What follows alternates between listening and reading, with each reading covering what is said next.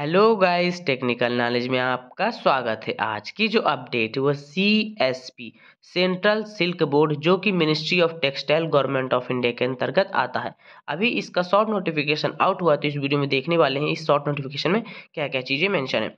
Date चौबीस बारह दो हज़ार बाईस डी हुई, यानी कि इसका जो फुल नोटिफिकेशन है, वो चौबीस बारह दो हज़ार बाईस को आ जाएगी। देखिए, देख सकते हैं। Recruitment for group A B and C administrative and technical post तो हम यहाँ पर टेक्निकल पोस्ट के बारे में बात करेंगे।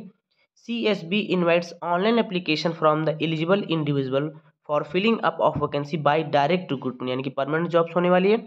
In the following post at C S B headquarters and its offices located in the country as per the details given group देखिए assistant director A and N administrative की वैकेंसी है, जो कि लेवल टेन की होने वाली group B में। Computer program की असिस्टेंट सुपरिटेंडेंट एडमिनिस्ट्रेटिव की है। असिस्टेंट सुपरिटेंडेंट टेक्निकल पोस्ट के लिए देखिए टेक्निकल पोस्ट में पाँच नंबर ऑफ़ वैकेंसी है। जैसे ही इसका फुल नोटिफिकेशन आउट होगा एलिजिबिलिटी क्राइटेरिया एज रिलैक्सेशन सारे डिटेल्स में डिस्कस करेंगे हम।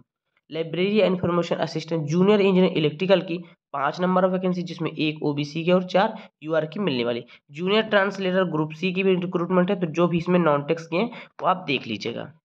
देखिए दोस्तों online application portal will be open from 24 दिसंबर 2022 से स्टार्ट हो जाएगा। क्लोजिंग डेट 16 जनवरी 2023 हो जाएगी इसकी। तो जैसे ही इसका फुल नोटिफिकेशन आउट होगा, हम वीडियो के माध्यम से आपको सूचित कर देंगे। तो गाइस यही एक छोटी सी अपडेट देनी थी। वीडियो पसंद आ रही वीडियो को लाइक करें, अपने दोस्तों के साथ शेयर करें। मिलते हैं अगले वीडियो पर, तब तक के लिए नमस्कार।